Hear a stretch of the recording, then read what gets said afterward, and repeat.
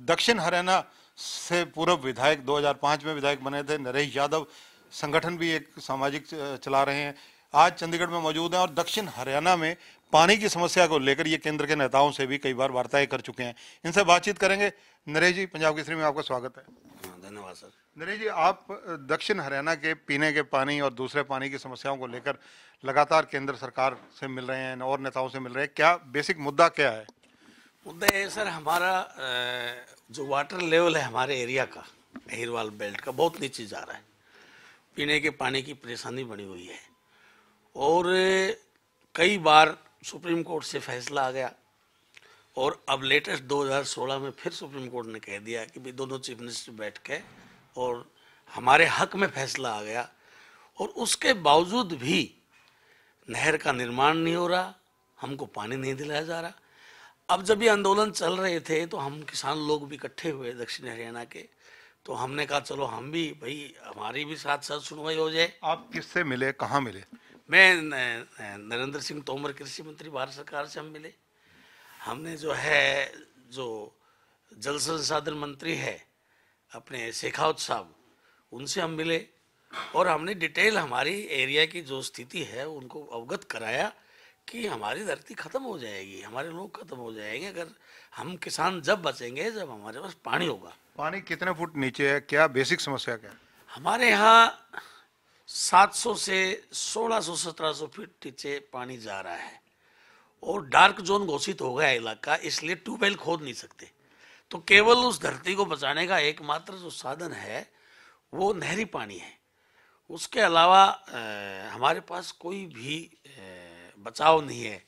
अच्छी धरती है उपजाऊ धरती है मीठा पानी है। और पानी की वजह से हम कई बार क्रॉप नहीं ले पा रहे। दक्षिण हरियाणा तो राजनीतिक रूप से बहुत सबल माना जाता है। राव इंद्रजीत उसी एरिया से आते हैं केंद्र में मंत्री हैं। बीजेपी सरकार में लगातार दूसरी बार केंद्र में राज्य मंत्री हैं। तो क्या उनसे भी इस मुद्दे पर कभी चर्चा हुई वो नहीं वो इस मुद्दे पर साथ हैं। राव इंद्रजीत सिंह पीछे भी आए थे। और मैं तो अब ये कह रहा हूँ कि भाई, पहली बार किसी सरकार ने पहल की है। हरियाणा के मुख्यमंत्री खुद ये कह रहे हैं कि भाई, पानी मिलना चाहिए। तो मैं कहता हूँ, मुख्यमंत्री जी, आप जानते हो, पानी थोड़ा बढ़ाया भी था इस बार।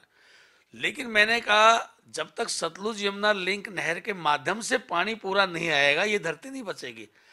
तो मेरी मांग है भारत सरकार के प्रधानमंत्री जी से कि प्रधानमंत्री जी, आप संज्ञान लें। हमारी ये वीरों की भूमि है, बड़े बलिदान हम लोगों ने युद्धों में दिए हैं। जी, भारत की चीन से लड़ाई, पाकिस्तान से लड़ाई हुई, श्रीलंका शांति सेना गई, वहाँ भी हमारे लोग शहीद हुए, कारगिल में हमने सबसे ज़्यादा साथ दी। और आज हमारे लोग पानी की एक एक बूंद के लिए तरस रहे हैं। तो इसलिए हमने मांग रखी है कि भाई जब आप किसानों की सुनो, किसान भाई बैठे हैं, उनको समझाओ, उनकी शक शुबा दूर करो। साथ में जो हमारे किसान हैं मेरे किसान संगठनों से भी, पंजाब के किसानों से भी, और सारी राजनीतिक पार्टियों नेताओं से मैं ये दरखास्त करना चाहता हूँ कि भाइयों, आप हमारी भी सुनो, हमारा पानी नीचे जा रहा है, हमारे इलाका सूख रहा है तो ये पानी की जो हमारी समस्या है, उनसे भी मेरा निवेदन और प्रधानमंत्री से निवेदन है कि जो सुप्रीम कोर्ट ने फैसला कर दिया, उसको लागू कराया जाए। आप अहिरवाल बेल्ट में सैनिकों की बात कर रहे हैं, शहादत की बात कर रहे हैं, अहिरवाल रेजिमेंट पर आपका स्टैंड क्या है? अहिरवाल रेजिमेंट के लिए पीछे हमने आंदोलन चलाया था। हम पैदल गए थे अहिरवाल रेजिमेंट के लिए, जंतर मंत्र पे भी धरना दिया और इसके लिए तो मैं कितनी बार गया हूँ। बहुत साल हो गए लड़ाई लड़ते लड़ते।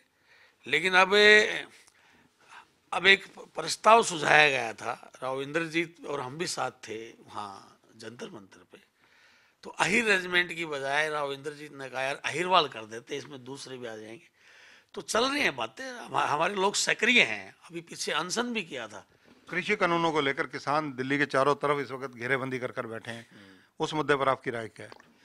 ऐसा है जी किसान हमारा अन्नदाता भगवान है। और अगर किसान दुखी है तो हम किसानों के लीडर के रूप में किसानों के भाई बनकर के हमने बीस तीस साल संघर्ष किया है। बहुत तकलीफ़ हो रही है किसान मर रहे हैं।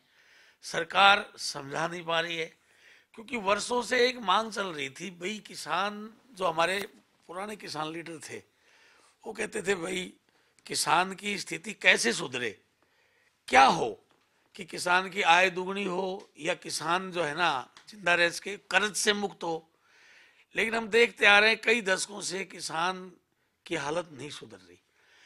अब ये सरकार ये जो कानून लाई तो उसके उनके दिमाग में सरकार के में यह है कि भाई किसान जब तक व्यापारीकरण में या उसमें नहीं आएगा लेकिन मेरा ये मानना है मेरी अपनी ओपिनियन है कि किसान के ऊपर कोई भी चीज़ थोपी नहीं जानी चाहिए चाहे कानून के माध्यम से या किसी भी माध्यम से। यानी जो किसानों का आंदोलन है उसको आप जायज़ बता रहे हैं? नहीं नहीं किसान के ऊपर अभी सारी चीज़ें कोई क्लेरिफाई नहीं कर पा रहा है इसको। मैंने कहा था, भाई, किसान डरे हुए हैं, भाई क्या नाम इस, किसान डरे हुए हैं कि अडानी आ जाएगा या रिलायंस आ जाएगा। किसानों का जो शक शुबा है कि भी बड़े व्यापारी आ जाएँगे तो हम उसके मजदूर हो जाएँगे। ये चीज़ें क्लेरिफाई होनी चाहिए। अभी तक क्लेरिफाई नहीं है। सरकार ने क्लेरिफाई तो सारी समस्या का हल आपके जहन में क्या नज़र आता है? आप भी लीडरशिप में हैं। खुद नेता हैं दक्षिण हरियाणा के। इस सारी समस्याओं का जो हल है वो पार्लियामेंट में ही निकलेगा। जितना हम बॉर्डर के ऊपर सरकार पर दबाव दे रहे हैं अगर हमारे चुने हुए नुमाइंदे नुमाइंदों की अगर आँखें खोली जाएँ किसान अगर वास्तव में चाह रहे हैं तो इसका मतलब जो पार्लियामेंटरीज हमने भेजे हैं और हमारा कानून गलत था तो पार्लियामेंटरीज कर क्या रहे थे पार्लियामेंट में? तो जो पार्लियामेंट में कानून पास हुआ है वो रद्द भी पार्लियामेंट में होगा। तो यानी आप वकालत करते हैं कि उसको रद्द किया जाए? नहीं। पार्लियामेंटर्स इसमें पूरी बहस करें। किसान की आमदनी कैसे बढ़े? अगर कानून के माध्यम से किसान को फ़ायदा होता है, उसकी आमदनी बढ़ती है, वो कर्जे से मुक्त होता है तो उस कानून पर परिचर्चा हो। और उसमें किसान को भयम है भी जैसे एमएसपी है एमएसपी पर किसान कहते हैं कि भाई इसकी गारंटी दो।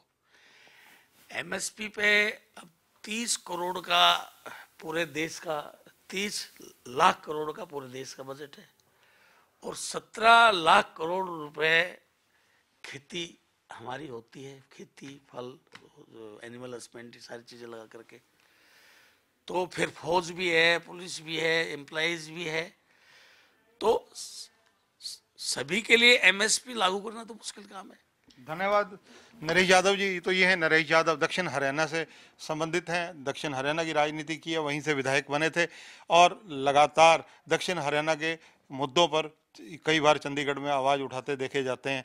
फ़िलहाल किसानों के मामले में अगर इनसे खुलकर चर्चा की गई तो इनका कहीं ना कहीं किसानों के मुद्दों पर, किसानों को ना समझा पाने पर सरकार की तरफ़ इशारा था कि सरकार उनको कन्विंस नहीं कर पाई, उनको समझा नहीं पाई। दूसरा इशू इनका पानी का था। दक्षिण हरियाणा में पानी की दिक्कत लगातार बढ़ रही है। भू भूजल स्तर जो गिर रहा है, उसको लेकर इन्होंने कहा है कि एस वन का जो मामला है उसको लटकाया ना जाए और जल्दी बनाया जाए। कैमरामैन सुनील के साथ चंद्रशेखर धरनी पंजाब केसरी टीवी चंडीगढ़।